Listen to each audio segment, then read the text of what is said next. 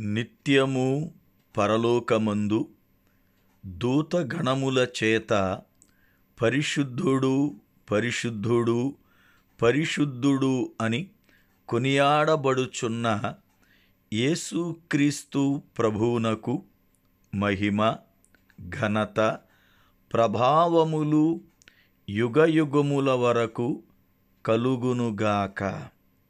Amen. ప్రార్థన. కృపానిధివైన పరమ తండ్రి మీ పాదములకు వందనాలు స్తోత్రాలు. మీ అత్యంతమైన కృపను బట్టి మమ్ములను ప్రేమిస్తూ ప్రతిదినం మాతో మాట్లాడుచున్న మీ కనికరమునకై స్తోత్రాలు. దేవా ఈ దినము కూడా వాక్యము ద్వారా మాతో మాట్లాడండి మమ్ములను బలపరచండి. వాక్యము వింటున్న మా ప్రియులలో అనేక మంది బలహీనులున్నారు బలపరచండి. కృంగిన వారున్నారు లేవతీయండి. రోగులున్నారు స్వస్థపరచండి. ఆర్థిక సమస్యల చేత నలిగిపోతున్న వారున్నారు సహాయము చేయండి. దురాత్మల చేత బంధించబడి నశించిపోతున్న వారిని విడిపించండి. కుటుంబాలలో ఐక్యత లేక సమాధానము లేక విచ్ఛిన్నమైపోతున్న కుటుంబాలను సమాధానపరచండి. ముఖ్యముగా మా దేశమును మా దేశ ప్రజలను దేశ నాయకులను జ్ఞాపకం చేసుకొనండి. క్షేమాన్ని ఆశీర్వాదమును నిత్య రక్షణను అనుగ్రహించండి. కోవిడ్ వల్ల ఎంతోమంది నశిస్తున్నారు నష్టపోతూ ఉన్నారు శ్రమపడుతూ ఉన్నారు. కనికరము చూపండి. సహాయము దయచేయండి. నీ కృపతో నింపండి. ఏసు నామమున ప్రార్థిస్తున్నాను. పరమ తండ్రి ఆమెన్.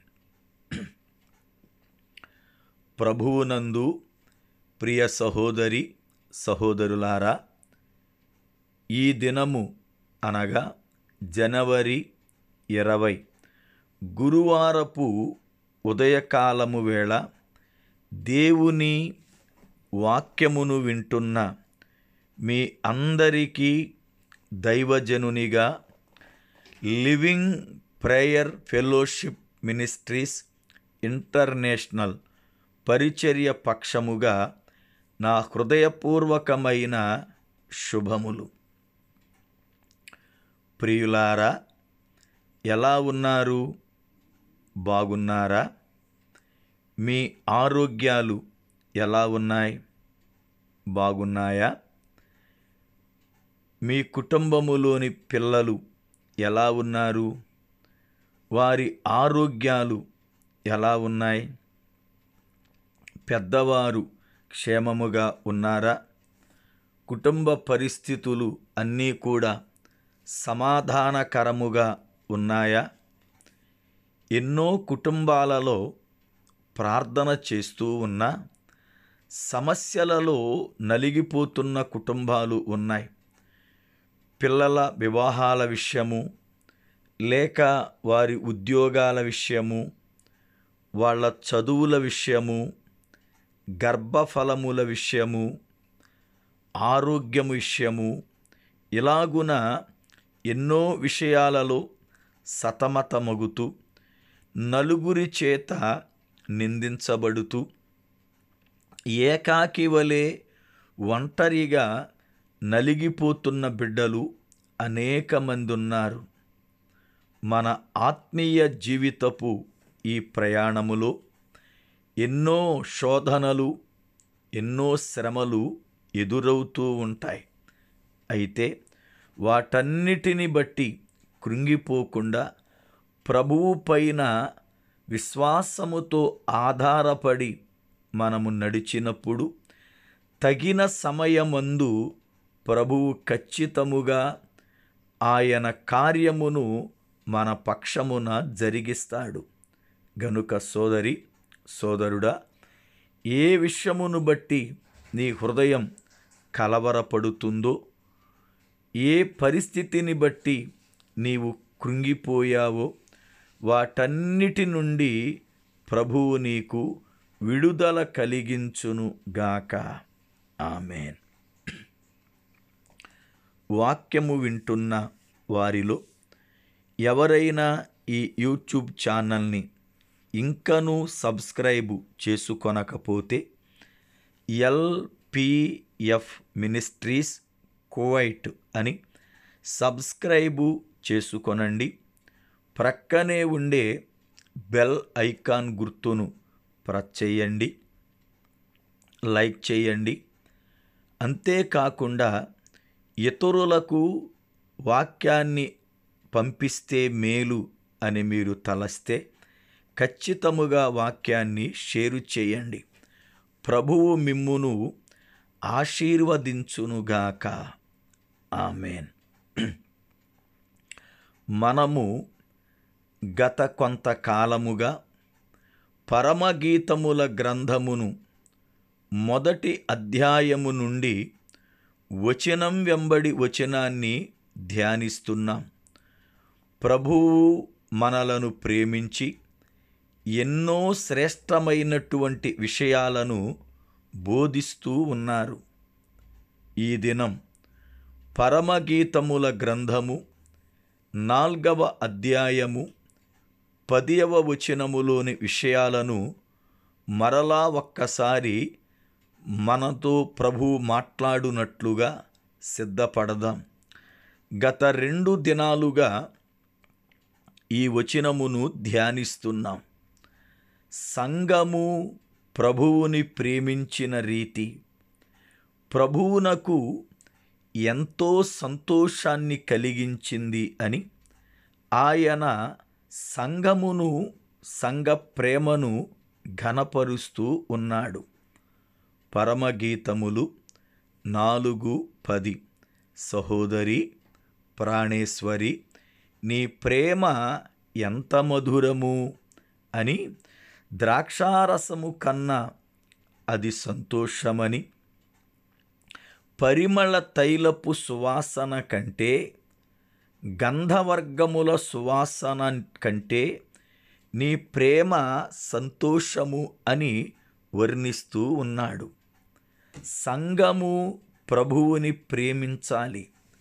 ఎందుకు అంటే మన కొరకు ఆయన తన ప్రాణాన్ని అర్పించాడు గనుక. ఆయనను బట్టే మనము పరిశుద్ధులమయ్యాము. ఆయనే మన రక్షకుడు మన ప్రాణ విమోచకుడు. అందుకై ప్రభువుని మనము ప్రేమించాలి. అయితే ప్రభువుని ప్రేమించడం అంటే చాలామంది ఏదో పై పైన మాటలలో చెబుతారు మేం ప్రభువుని ఎంతో ప్రేమిస్తామని. అయితే ప్రభువుని ప్రేమించడం అనేది మాటలలోనే కాదు క్రియారూపములో కనపరచాలి. ఎలా కనబడుతుంది? పరిశుద్ధ గ్రంథములో ప్రభువారు ఒక స్త్రీని గూర్చి అద్భుతమైన సాక్ష్యమిచ్చారు. ఆమె నన్ను విస్తారముగా ప్రేమించెను అని ఒక పాపి అయిన వ్యక్తిని గూర్చి ప్రభువు మాట్లాడారు. చూడండి లూకాసు వార్త ఏడవ అధ్యాయము నలభై ఏడవ వచనం. లూకాసు వార్త ఏడవ అధ్యాయము నలభై ఏడవ వచనం. ఆమె విస్తారముగా ప్రేమించెను. దేవుని లేఖనములో ప్రభువు ఒక స్త్రీని గూర్చి అతిశయపడుతున్న పరిషయునితో మాట్లాడుతున్నాడు.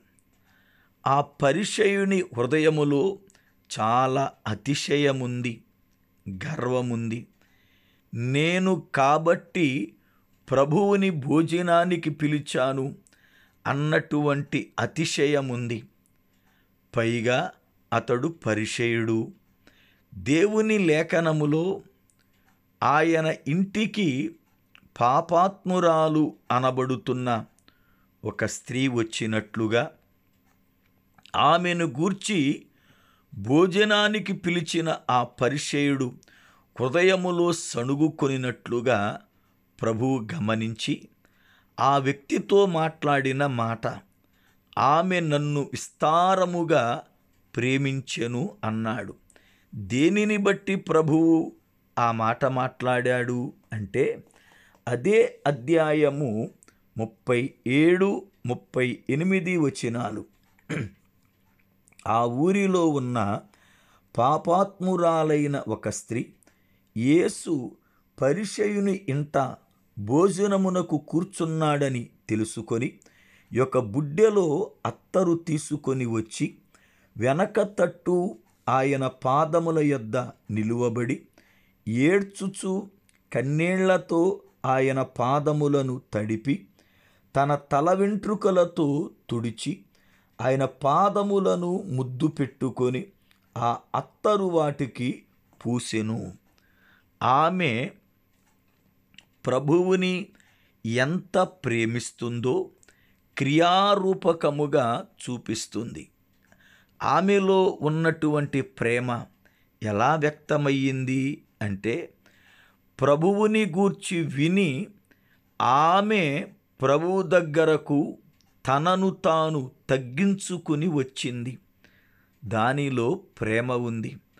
మనం ఎవరినైనా ప్రేమిస్తే మనమే వారి దగ్గరకు వెళ్ళాలి. అది ప్రేమ యొక్క స్వభావం.